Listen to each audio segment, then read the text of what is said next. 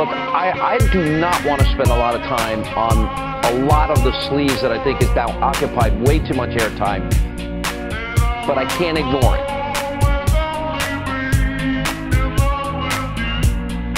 So I want to ask you this. Donald, you're a sniveling coward. Leave Heidi the hell alone.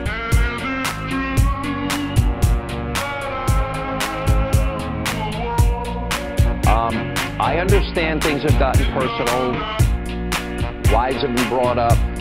Trump's wife was put in a super PAC ad. Your wife was mentioned in Twitter.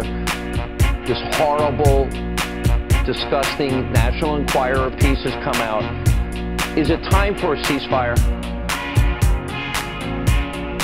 Well, Sean, let's be clear. Only one side has been firing.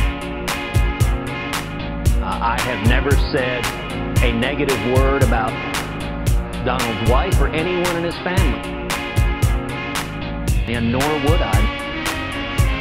The, the Facebook ad that was run was wrong. But I don't know the person who ran it. I have no connection to him. We're completely disconnected. It's a totally separate group that I don't know. And what Donald did in response, listen, there are a lot of people that don't like Donald. They're attacking him. I can't control what, what 300 million people do. But Donald responded by directly going after my wife, Heidi, by threatening my wife, by attacking her.